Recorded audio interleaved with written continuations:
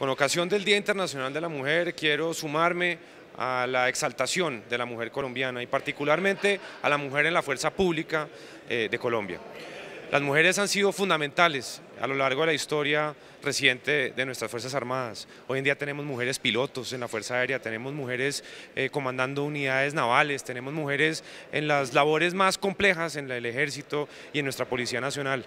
Necesitamos más mujeres. Aquí es un escenario en donde la mujer encontrará... Eh, empoderamiento, independencia, eh, una familia que la va a recibir para todos los retos que tenemos hacia futuro. En el proceso de transformación de la fuerza pública colombiana tendremos cada vez más roles, eh, más actividades en donde la mujer va a encontrar un escenario protagónico.